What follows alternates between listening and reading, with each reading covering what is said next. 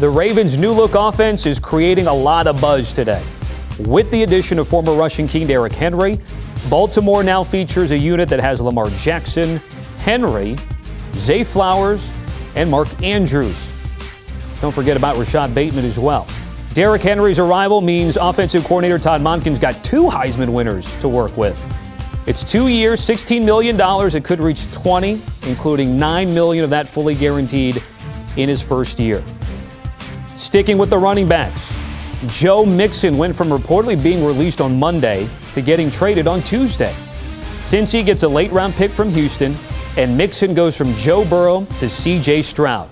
Bengals also reaching an agreement on Zack Moss to replace Mixon. There's a new queen in the Steel City after Patrick Queen agreed to a reported three year, $41 million deal with Pittsburgh. Queen joins a front seven, which includes TJ Watt and Cam Hayward, who will be tackling Derrick Henry at least twice a year. Lots of AFC North news today. Senior NFL insider Josina Anderson spoke with Jameis Winston, who told her he's joining the Browns. The veteran quarterback still thinks he's a starter, but told Josina he's ready to serve as Deshaun Watson's backup in the 2024 season. Marcus Mariota headed to the DMV after playing this past season as a backup to Jalen Hurts in Philly. It's a reported one-year deal with a base value of six mil that could be 10 with the Commanders. Washington has the second overall pick, and it's expected they'll take a quarterback, presumably Drake Maye or Jayden Daniels. Mariota, former second overall pick in his own right, former second round pick Drew Lock signing a one-year deal as well.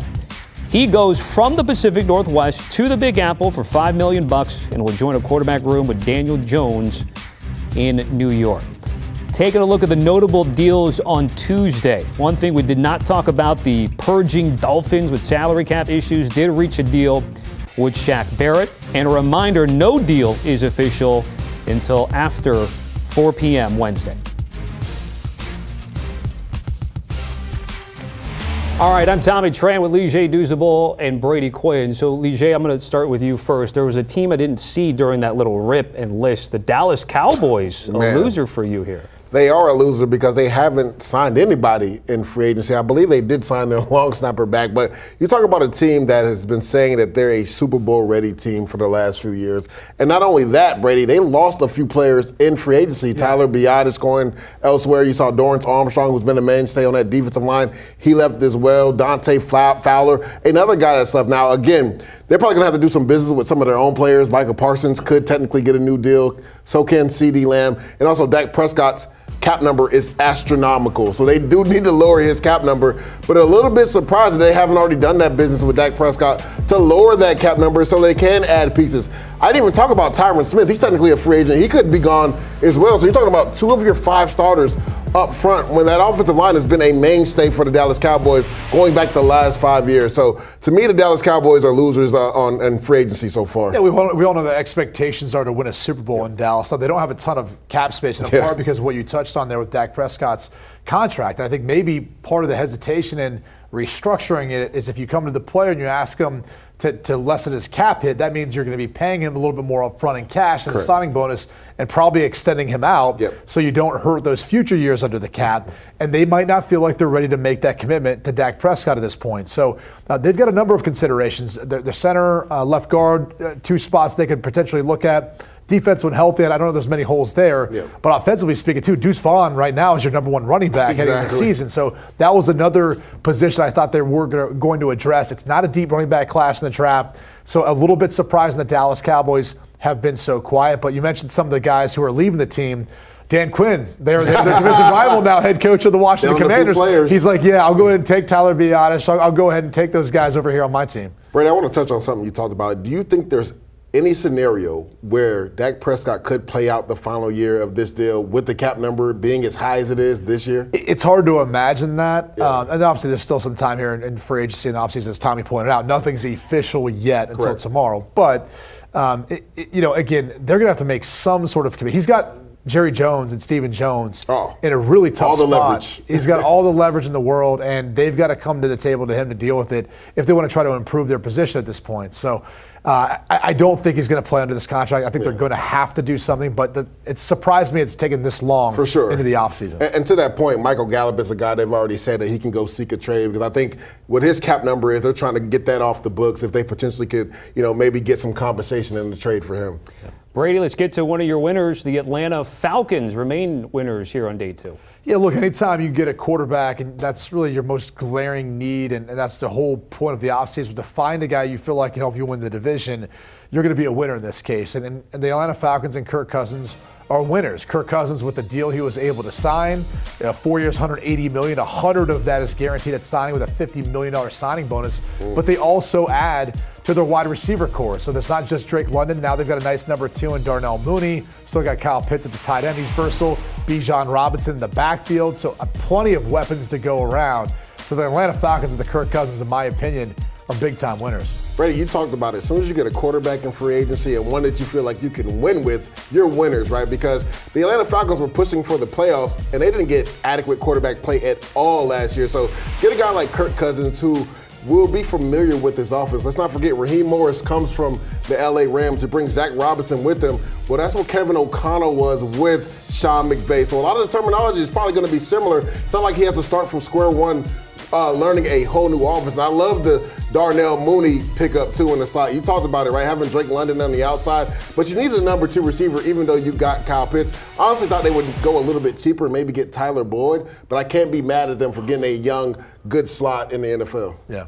Once the Cousins news came down, the Atlanta Falcons immediately became the betting favorite in the mm. division. It's already minus 110 over at FanDuel. And Brady, during that little rip, their highlight of Kirk Cousins, we saw him torch the Carolina Panthers. Carolina is a loser for you here. Yeah, look, I understand what they're doing. They're trying to solidify the interior of their offensive line with the pickups of, of Lewis and Hunt up front. Still, maybe need to look at their, their center position, but they need to find a number one wide receiver. Like we were yeah. saying that all last year, aside from the offensive issues that they were facing, they don't have any speed, anyone that can break down the field. That's a big time concern. And, and the Brian Burns trade, it, it's maybe a little bit retroactive in the sense of what they could have got from him a year prior if they would have traded him then, having more draft capital to make up for what they've lost over the course of the past few years now in the Christian McCaffrey trade, the Brian Burns trade, trading up to get Bryce Young. Uh, they just have not fared well so far. So I think they're making their way. We'll see what other additions they can make to this roster to help out. But anytime you trade an edge rusher like Brian Burns, I'm not sure you're making your team better in the short term. Yeah, Brady, I'm with you. I think they're big losers in free agency, and it's not just because of the pieces they've been trying to add, but it's the pieces they've lost. And then when you look at the, the, the full screen that we just had up, essentially trading away Christian McCaffrey, Brian Burns, and then also DJ Moore didn't really net you much in regards to getting capital gains back. So when you look at the, the, the, Panthers, yes, the offensive line was atrocious last year. You have to protect Bryce Young. Really like the signing of, of Hunt that you, that you talked about earlier and Lewis as well in the interior. Looks like Austin Corbett will move from guard to center, but they still have issues at the tackle position. Ickey Ekwonu has really struggled as a guy that you took in the top 10. And to your point, who is the guy that's threatening you down the field? They don't have a true number one receiver. And the thing that really puzzles me, Brady, is this was actually a good defense last year, but they let all their top key pieces leave. Frankie Luvu goes the Commanders. You lose Brian Burns. Now they did just sign A'Shawn Robinson, which I think is a really good defensive tackle. You compare him with uh, Derrick Brown on the inside, but who's rushing the quarterback on the edge? So like to me, they're losers because the one area that you could kind of, you know, depend on was the defense, but now it's a whole new looking defense. I think when you look at how you build a roster, a roster construction, right, you have to have the quarterback, you have to have the guys protecting, the guys rushing, the guys catching, the guys covering, the guys catching. And right now, I think if you look at the roster right now, to a lot of the points you're bringing up, a lot of holes there, a lot of question marks there right now. So I understand they're in a rebuild mode. It's year two with Bryce Young, but – David Tepper's run so far as their owner, you have to question whether or not he's meddled a bunch. Dan Morgan just got there, but he's already run through a number of coaches really early on in those contracts, and it just it seems like it's a bit of a disaster so far. Our graphic right there is highlighting the lack of a first round pick. So the draft capital wise in that Burns deal, by the way, Giants do give up a second round pick here in 24 and another pick there in 25. Lee, let me get back to one of your winners here. So we go coast to coast. Let's go to LA and the Rams. There's nothing like good trench play, Tommy. Offensive line. This is why the Rams are winners. Sean McVay understands to win the game, you have to be solidified in the trenches. And for them to get Jonah Jackson and re sign Kevin Dotson, because I think you have to add that in regards to why they're winners in free agency. Now you move Steve Avila inside. Brady, defensive tackles before they play the Rams better eat an extra uh, steak in pregame meal because those dual blocks, those double teams, it's going to be a hard day inside for defensive tackles. And then Colby Parkinson is a blocking tight end. So Sean McVay is kind of letting you know what they're going to do. They're going to come out and run the ball, try to take a lot of pressure off of Matt Stafford because he is getting up there in age, even though he can still throw it around the field. But I love what I saw from Kyren Williams and an offensive line. They got only better through free agency. Yeah, I, I, love these moves for Matt Stafford protection, but Kyren Williams as well, oh, specifically oh at running back. Oof. I mean, this is this is a dream for him as he's continuing on his career. Kind of was a breakout star a little bit last year, uh, and especially since he's gotten into the league when he's been healthy. And so it helps out the running game, helps out Stafford, but also as you kind of touched on, if they can run the football, you've got Cooper Kupp, Puka Nacua, you resign Demarcus Robinson. That's a nice trio of wide receivers too. I think when you want to spread it out a little bit, you could find some hay there. So I, I love what the Rams are doing. They exceeded expectations last yeah, year. They did. and they've exceeded my expectations so so far with the under free agency. I think a underrated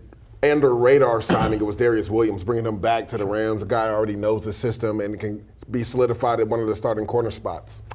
Brady Quinn, let's get to what are your winners here. Jacksonville's been quite active the first two days here, but it's specifically what Trevor Lawrence is kind of getting from all these moves. Yeah, he's a winner. Look, they've helped solidify the interior of the offensive line, re-signing Ezra Cleveland. They got Mitch Morse there. Then you bring in, you know, guys on the outside like Gabe Davis, uh, as well as Devin Duvernay, who help out as a wide receiver, but also as a return man. So you've got that on defense. Ronald Darby, Darnell Savage, much more economical moves, but I think they'll get just as good of a level of play as what they're getting, if not better, than what they had last year. So uh, pretty active for the Jacksonville Jaguars after a disappointing season, but I think all moves that are needed and more than anything else really help elevate the level of play of Trevor Lawrence.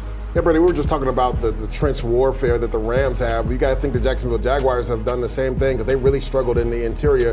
They traded for Ezra Cleveland halfway through last year, and then they signed him to an extension. I think the restructure of Brandon Scherff should be up there as well, right. being able to get that done as well, and then tagging um, Josh Allen Josh on the outside. Huge, yeah. You've got to have somebody that can wreck the game as a pass rusher, and that's exactly what Josh Allen did. Now they need to get that deal done with him. I was going to say, well, they got time. Yeah. They'll get to the summer, and as we know, deadlines do deals. I was going to say, you agree though? They'll get that done. Deal. Oh, for sure, yeah. for sure. So getting that deal done will be, be monumental. And I think them also going to a traditional 4-3 defense with Ryan Nielsen as a defensive coordinator will not only help Josh Allen, but it'll help Walker on the other side as well. That's one of the reasons too why, if you look at Trevor Lawrence, he might not get his extension done this offseason because they got to worry about Josh Allen. Correct. Then a year from now, mm. maybe then it's Trevor Lawrence. Mm. But that also may play an impact to what Calvin Ridley could potentially get paid if True. he does come back. But not to go back to one of the losers, but like Calvin Ridley should be in Carolina. Yeah. There's no way with his speed and ability. There's no way if he was on the free agent market that Carolina's not talking to him. Right now, it's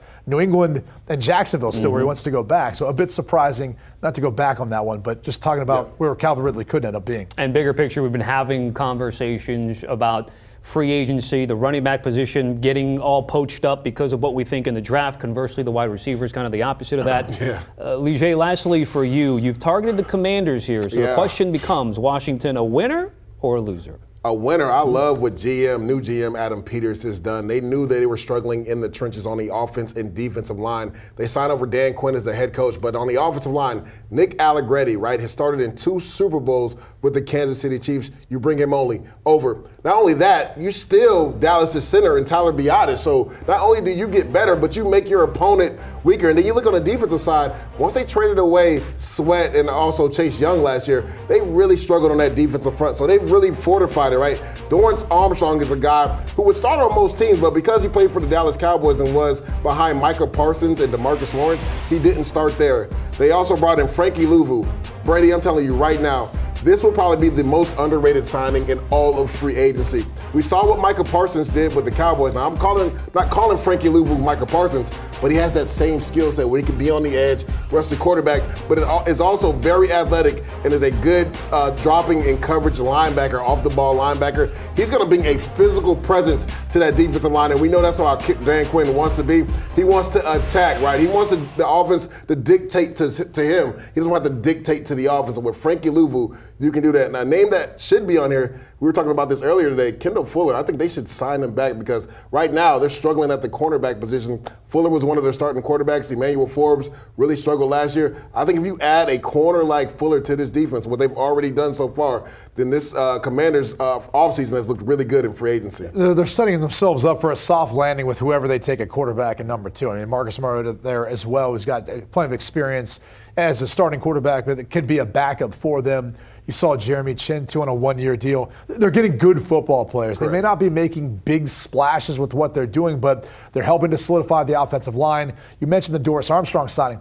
Look, he's a new head coach. He's implementing a new defensive system. Bring along some of those guys with you that were in Dallas that helped you become successful uh, and really improving that defense during your time there. That helps with the transition for all the players that are joining this team. So they've also done a tremendous job, I think, so far building out this roster. Truly a, a new era of Washington football with the ownership group, head coach, you mentioned front office, and then what we anticipate will be the future franchise quarterback. Brady, Leger, appreciate you as always with the winners and losers segment here on HQ. A reminder keep up to date on the very latest with your team or your favorite player. Go to the CBS Sports app, and if you haven't already, scan that QR code you see right there on your screen.